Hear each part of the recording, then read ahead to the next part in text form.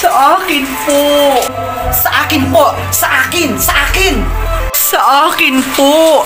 Hindi. Sa akin sabi eh. Sandali, sandali. May naisip na akong paraan. Para hindi na kayo mag-away at matapos na ang problemang ito. Nasaan ngayon ang buhay na tuta? Nasa bahay ko po, Mang Arsenio. Kung ganon, dalhin mo dito ang buhay na tuta. Bakit po, Mang Arsenio? Nakayuga sa inyo ang umaamin kung ano yung talaga ang buhay na tuta. Ang mabuti pa ay hatiin ko na sa dalawa ang buhay na tuta.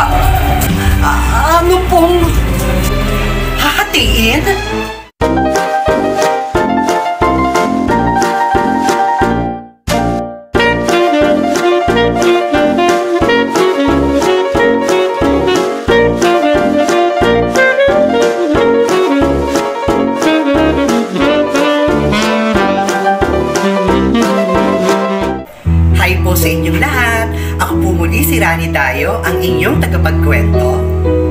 At ako naman po si Arthur Badagyan, ang inyong cameraman. Welcome po muli dito sa aming tandem ng nag-iisang Kwentong Comics Vlog. O tita, simulan mo na po ang kwento. Minsan, may isang lolo na ang pangalan ay Arsenio.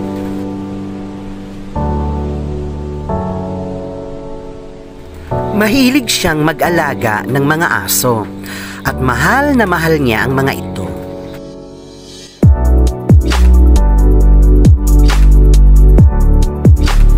At nang manganak ang kanyang asong babae, ay naisipan niyang bigyan ang kanyang dalawang kapitbahay. Salamat po, Amang Arsenio, dito sa bigay mong tuta. Aalagaan ko po ito mabuti. Ako din po, Amang Arsenio. Aalagaan ko din po ito mabuti. Salamat po. Walang ano man. O, kayo nang bahala mo pag sa mga yan ha. Opo, Amang Arsenio. Salamat po ulit. Opo, Amang Arsenio. Salamat po ulit.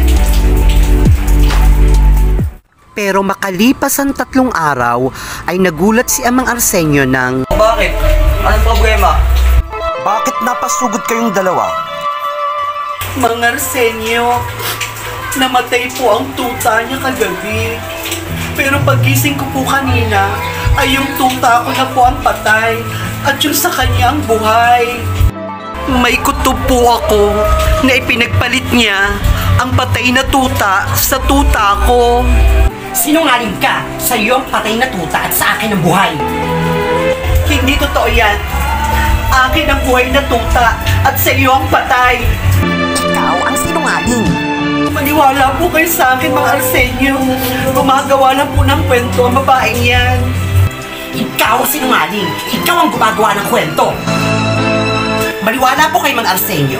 Nagdadrama lang ang babaeng yan. Teka, teka. Luminawin ko yung dalawa. Paano natin maaayos ang problemang ito kung pareho yung idinadaan sa init ng ulo? Ang mabuti pa, umamin na kung sino man sa inyong dalawa ang tunay na may-ari ng boy na tuta. At umamin na rin kung sino talaga ang may-ari ng patay na tuta.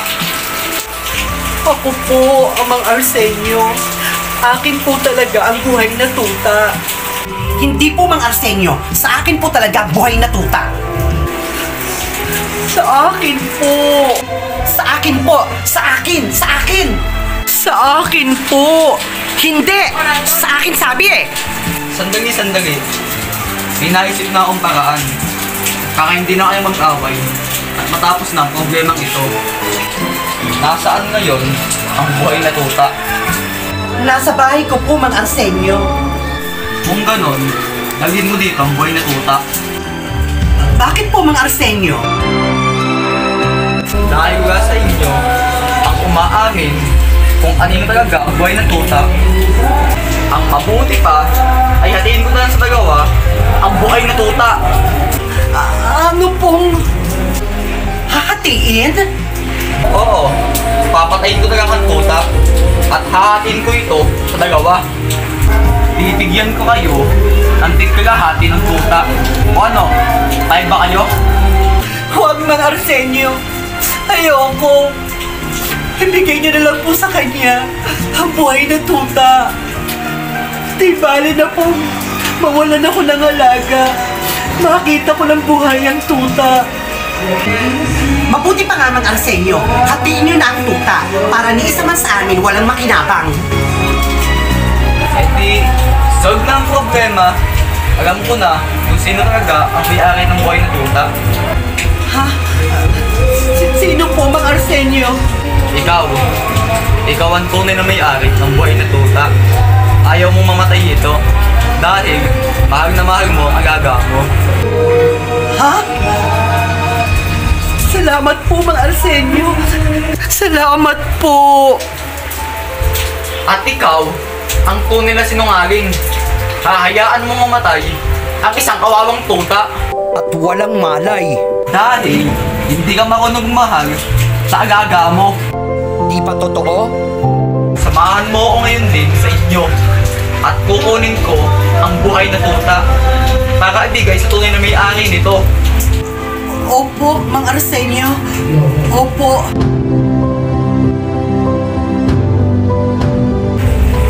Salamat po muli, Mang Arsenio.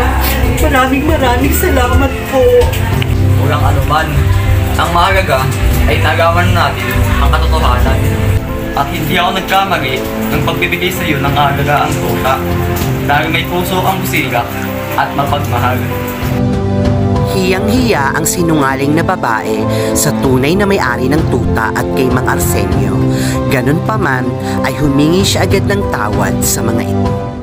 Sana po ay may napulot na naman kayong magandang aral sa aming kwento ngayon. Muli ako po si Rani Dayo At ako naman po si SRJ Padalyan. At abangan niyo pong muli ang aming tandem sa susunod na... Kwentong Comics Vlog. And please, huwag niyo pong kalilimutang mag... Like share and subscribe. Paalam! God bless us all!